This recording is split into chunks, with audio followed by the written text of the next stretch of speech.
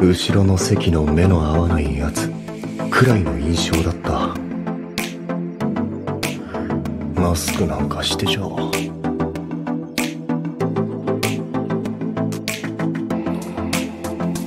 なんでいつもマスクつけてんの？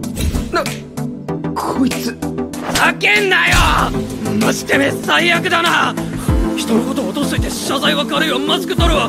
締めよカズ離れろ狭山って結構喋んだね。意外。そんで口めちゃくちゃ悪いんだね。笑ってね。嫌なことにして楽しむってのがだね。目が笑ってねえんだよ。そやもさ。意外と人のことよく見てんだねでも自分がどう見られてるか全然分かってない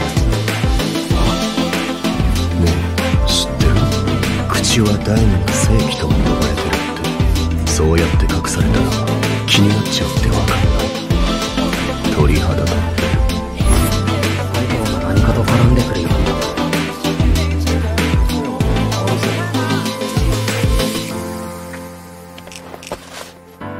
えあってあいや。なんだこれ。狭山めちゃくちゃ緊張してる。ちょっと興奮する。ややばい。超楽しい。2回忘れるなよ。逃げんなってことかよ。で何してんの？最悪だやだね顔面と背の格差社会お前友達いっぱいいんだななんで俺に絡んでくるんだよ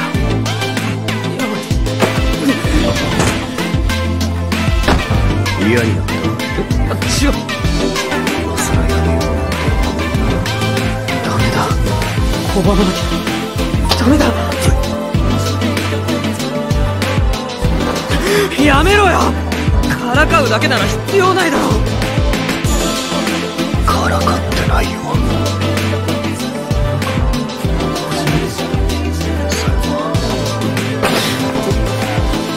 うしよう。どうしたらそういう強気そうな顔も憎まれる。俺は嫌いじゃないよ。やっぱり才川が好きだ